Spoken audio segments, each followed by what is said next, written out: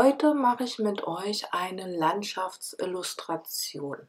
Wenn auch du Lust hast, meine Landschaft zu sehen, die ich mit Acrylfarbe mache, in mein Art Journal Seite, dann bist du herzlich willkommen und ich wünsche dir dann jetzt viel Spaß beim Zuschauen.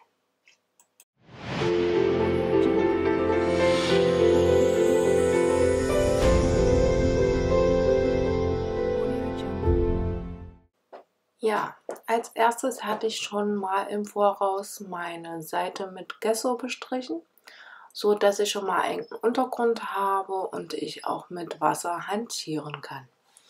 Hier zeige ich euch gerade die Farben, die ich hier schon mal nehme im Voraus. Das sind nämlich die Blautöne, die ich jetzt hier erstmal verwende.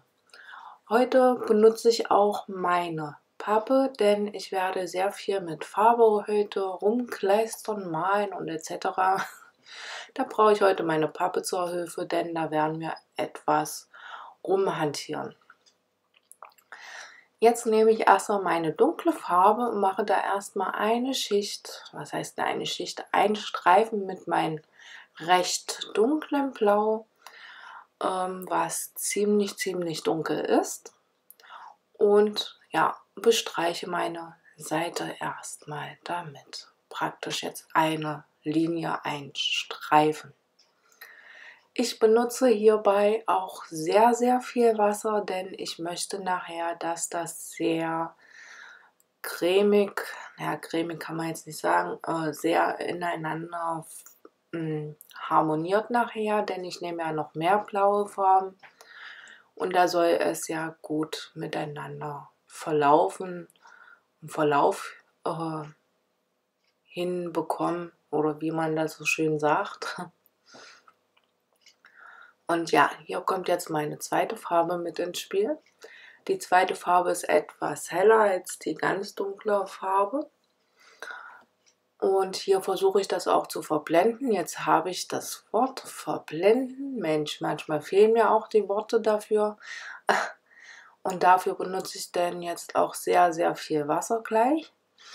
Was ihr jetzt aber nicht seht. Ja, denn nur mit Wasser kann man auch die Acrylfarbe geschmeidiger bekommen. Beziehungsweise ähm, den Übergang geschmeidig kriegen. Genau. Und hier versuche ich das Blaue erst, das Dunkelblau in das Hellblau zu verblenden, wie ihr gerade gesehen habt. Und nun ist aber das untere, das untere Blau mir etwas zu hell. Deswegen gehe ich dann nochmal mit der hellen Farbe nochmal drüber, so dass die Farbe dann auch dunkler wird.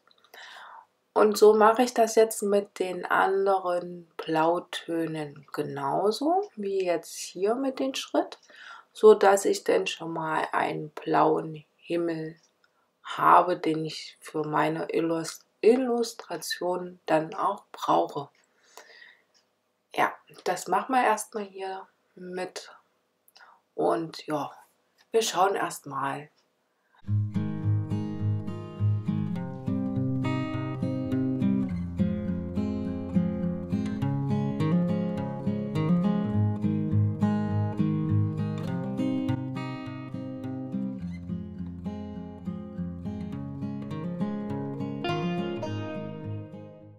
Jetzt werden sich bestimmt einige fragen, wie komme ich dazu, so eine Illustration zu machen. Ganz einfach. Ich habe bei Pinterest mir äh, Bilder rausgesucht, die mir sehr gut gefallen haben. Und genau das Bild war, was mir als erstes ins Auge gestochen ist. Und ich brauchte einfach, ja, äh, die Illustration in mein Art Journal Seite. Das Bild, was ich bei Pinterest gesehen habe, das habe ich ein bisschen abgewandelt. Es ist nicht genau das gleiche. Und ja, da habe ich mir gedacht, ich versuche es mal so weit umzusetzen, wie ich es hinbekomme. Ja, das eine oder andere ähm, hätte vielleicht besser laufen können, vielleicht hätte es auch gar nicht so laufen sollen ich habe mich einfach da inspirieren lassen, überraschen lassen, was ich daraus denn mache. Und ich muss ganz ehrlich sagen, das Endergebnis, das ist ja einfach schön geworden. Das hätte ich nie gedacht, denn zwischendurch hatte ich schon das Gefühl gehabt, das wird nichts. Aber wie es halt so ist, man sollte immer weitermachen, auch wenn man zwischendurch denkt, dass es nichts wird. Im Endeffekt wird es vielleicht anders, als du denkst.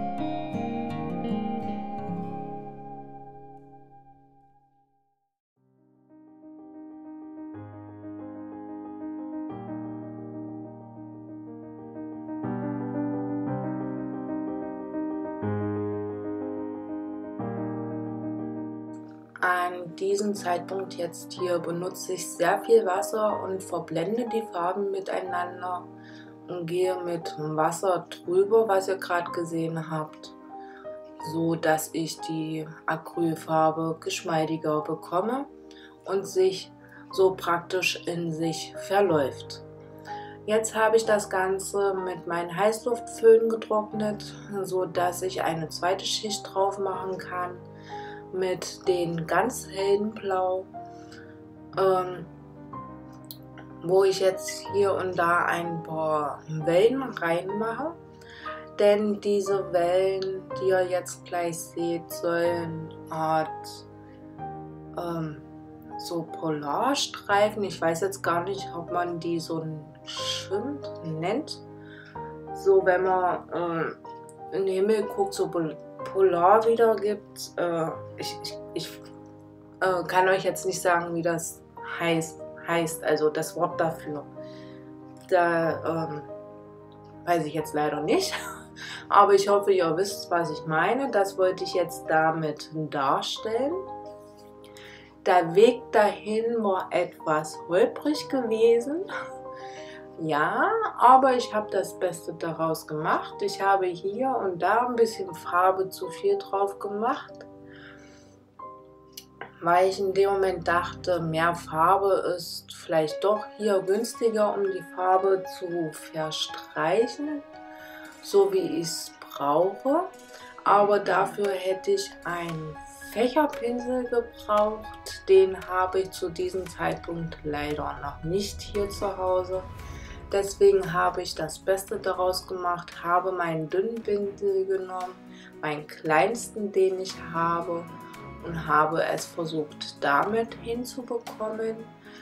Ja, ähm, was sich im Nachhinein ja, sehen lässt, sage ich jetzt mal so.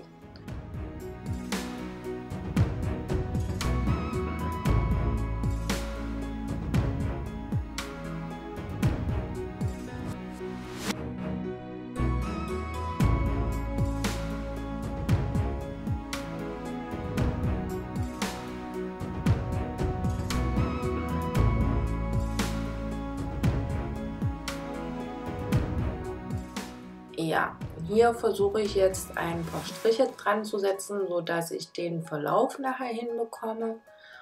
Und ja, das, das ist genau der Zeitpunkt, wo ich es scheiße finde. Sage ich so ganz ehrlich, wie es ist. Aber ich habe es gut gerettet. Und ja, es sieht nachher wirklich so äh, polarmäßig aus, sage ich jetzt so wie es am Himmel manchmal so schön bunt aussehen sollte. Und ja, hier nehme ich jetzt mit ganz viel Wasser äh, dazu, so dass ich das ein bisschen verschmieren kann. Und ja, die Struktur etwas weicher hinbekomme. Ja, Und im Nachhinein äh, gefällt es mir eigentlich recht gut. Hier nehme ich jetzt wieder ein bisschen Farbe runter, da ich festgestellt habe, dass ich zu viel Farbe genommen habe. Aber genau das ist ja das Experiment im Mix Media Buch ähm, Journal Seite, um zu testen, wie viel brauche ich für dieses äh, Experiment. Genau, sage ich jetzt so. Oder was kann ich besser machen, um es besser hinzubekommen? Das spiele ich jetzt einfach mit Wasser und Farbe wieder rum. Und ja, hier versuche ich das Überschüssige mit meinem Finger ein bisschen ab, wieder abzubekommen. Aber da, das ist schon so angetrocknet, da ich das ja bloß ein bisschen drauf gemacht hatte praktisch den Hauch von Farbe verstrichen habe, war ja das meiste schon wieder trocken. Ähm, habe ich noch wieder dunkle Farbe da hinzugemacht, um ja, es ein bisschen plastischer aussehen zu lassen und ja, es ein bisschen wieder zu neutralisieren. Genau. Ja, was ihr jetzt in diesem Schritt seht. So ein bisschen nur ein Hauch von Andeutungen machen wollte. Deswegen experimentiere ich jetzt hier mit dunkler Farbe nochmal wiederum, um es geschmeidiger aussehen zu lassen.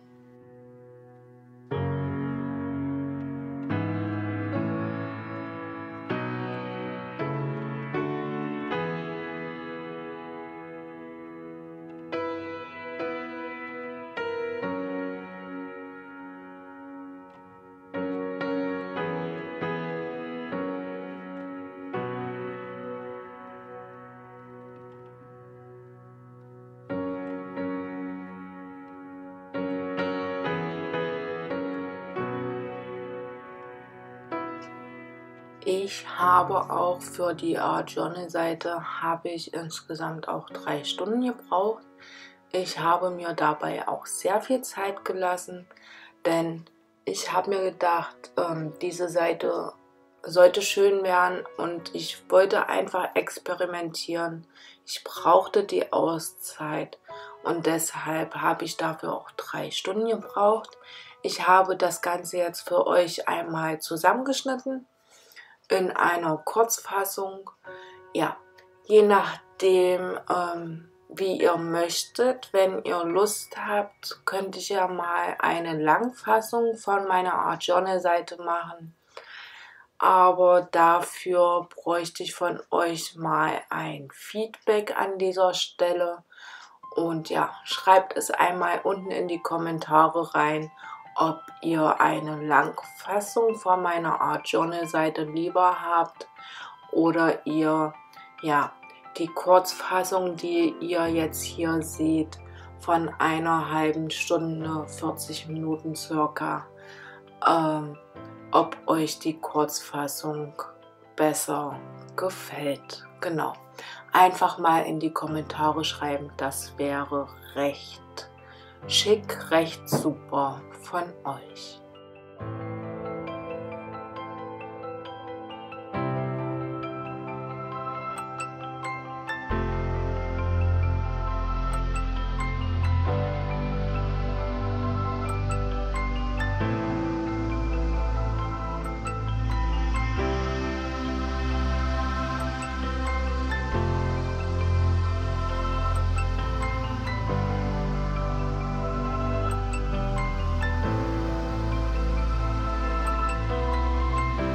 So, nach 15 Minuten, ja, für euch, für mich nach einer Stunde gefällt es mir schon recht gut, mein Streifen da oben. Da habe ich ja nur lange rum experimentiert, um den so hinzubekommen, wie er jetzt gleich aussieht.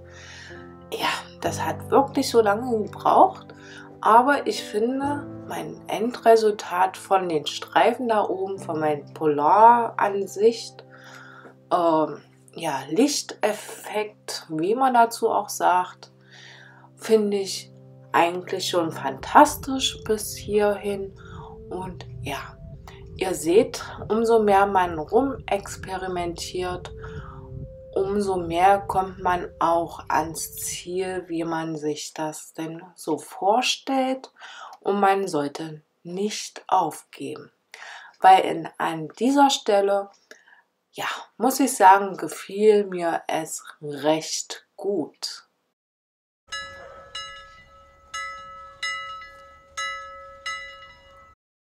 Jetzt ist der Himmel so, wie ich ihn haben wollte. Ich habe ihn nochmal mit den Heißluftföhn getrocknet.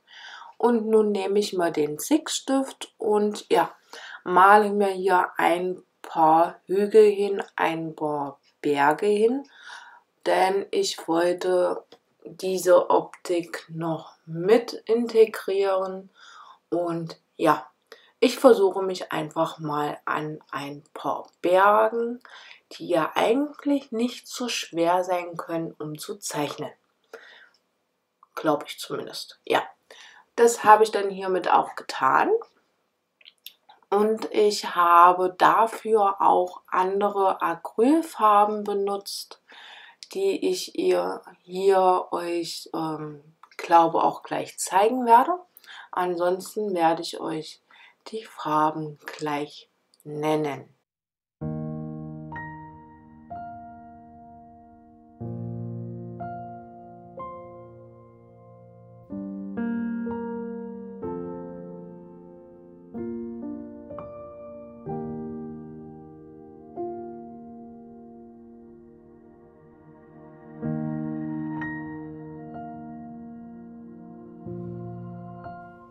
Meine Berge sollten ja so Sandhügel darstellen.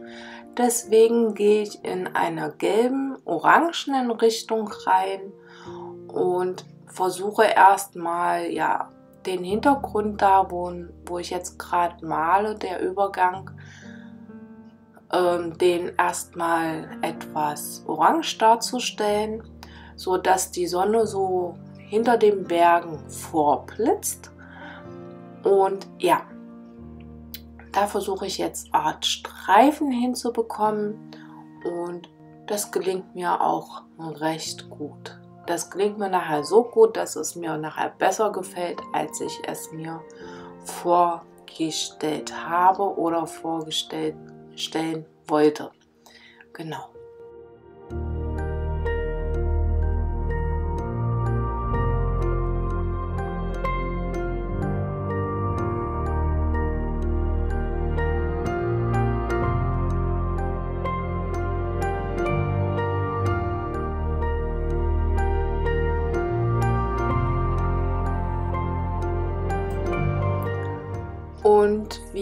Euch kenne, manche haben bis hier schon durchgehalten, manche sind vielleicht auch schon weg, wie es halt so ist.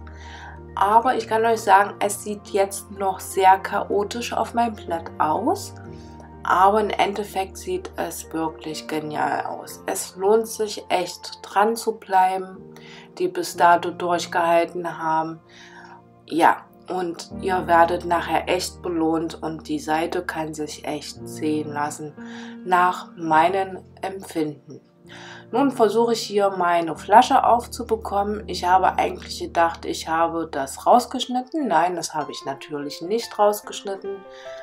Fällt mir jetzt erst auf. Aber naja, gut. An dieser Flasche habe ich mich krumm und dämlich geärgert, weil diese Flasche so scheiße aufging wo ich dachte, ich habe gleich die ganze Suppe hier auf meinem Schoß liegen. Ja, da habe ich mich sowas von geärgert, das kann ich euch sagen.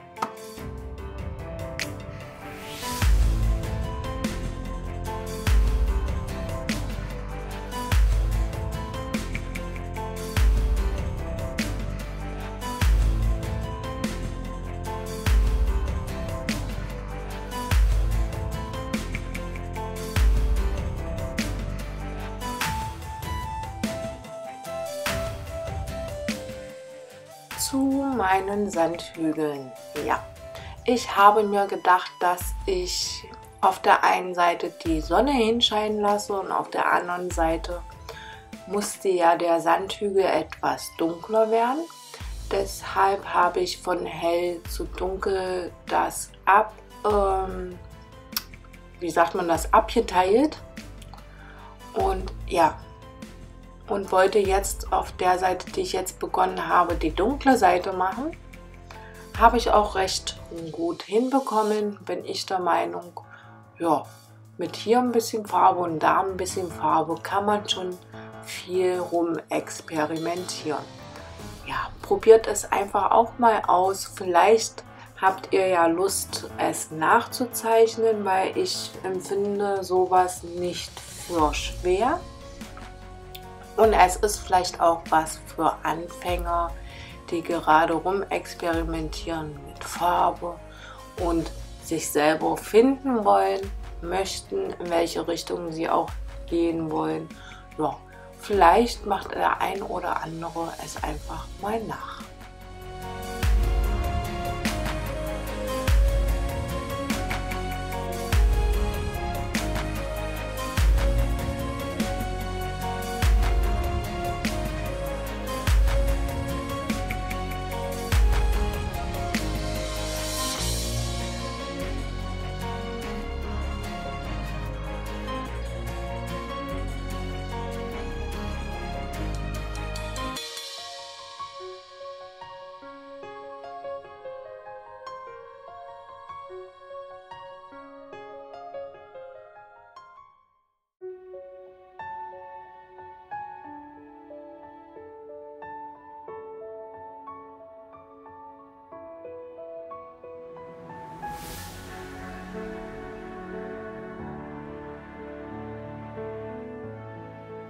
Man kann es auch als Meditation ansehen und als Erholung, zumindest derjenige, der hier gerade zuschaut. Ja, denn ich habe ja, ihr schon so allmählich hört, Meditationsmusik im Hintergrund, was auch mal nicht schlecht ist zur Entspannung. Genau zum zu diesem Zweck sollte auch das Video dienen, damit du einfach mal runterkommst vom Alltagsstress und dich einfach mal entspannen kannst und ja, vielleicht hat es ja geklappt mit diesem Video, wer weiß. Und du konntest einfach mal abschalten. Äh, davon abgesehen, dass ich mich ab und zu mal zwischendurch so gemeldet habe. Ne?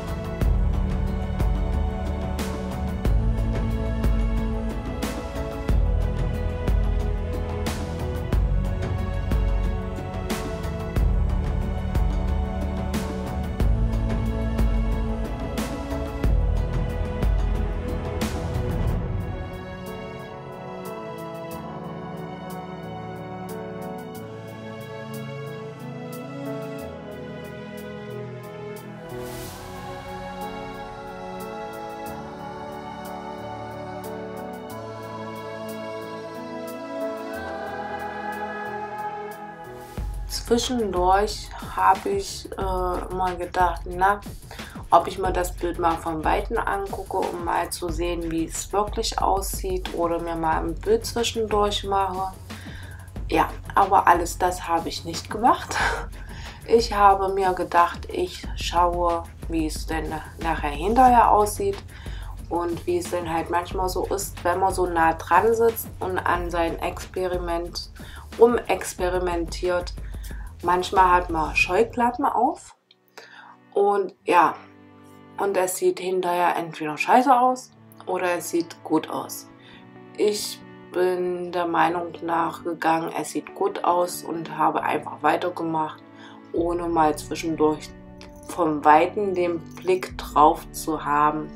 Und ja, ich wollte mich einfach überraschen lassen. An dieser Stelle wollte ich euch nicht zu sehr strapazieren und habe gedacht, ich schneide hier etwas mehr raus, damit es für euch schneller geht und ihr schon mal einen kleinen Fortschritt seht. Und ja, ich denke mal, es ist akzeptabel und ihr könnt weiterschauen, ohne dass ihr denkt, Mensch, wie lange geht denn das Video noch? Also, ich hoffe, dass es so okay für euch ist.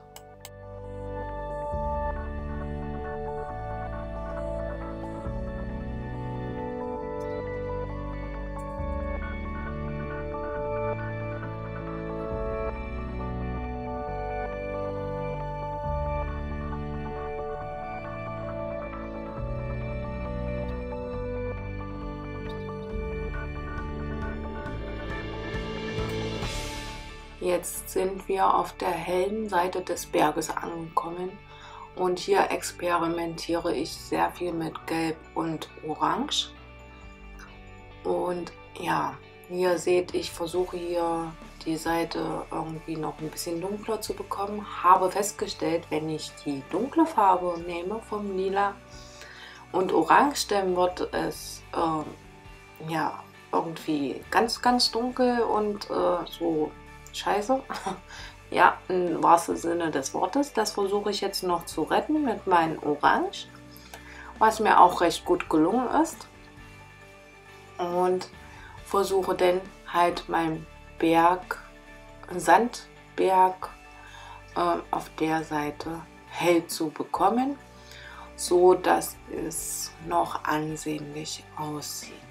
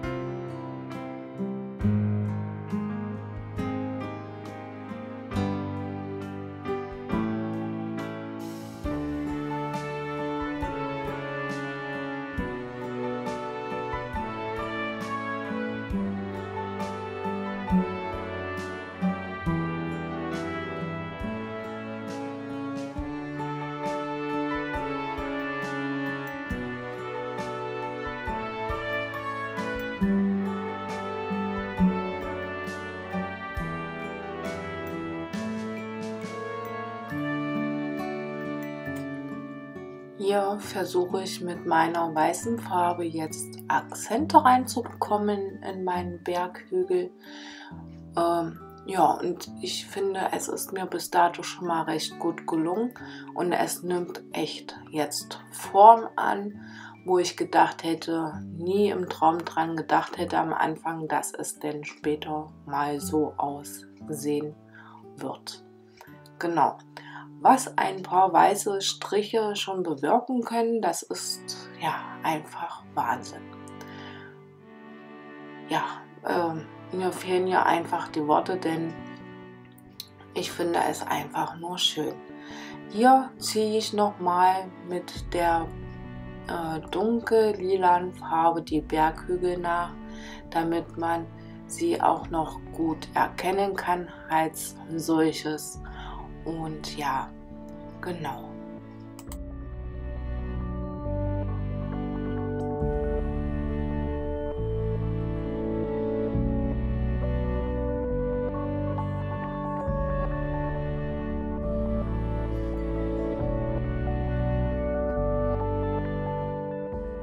Und dadurch, dass das Ganze jetzt schon langsam Form annimmt und ich es schon bis hierher recht gut gefällt, habe ich nachher im Nachhinein, wo die Kamera aus war, mein Posca-Pen, meinen weißen genommen, habe damit noch ein paar Sterne in den Himmel gemalt und ja, ich zeige euch jetzt das Gesamtbild, wie es aussieht und schreibt mir einmal in die Kommentare rein, wie es euch gefällt.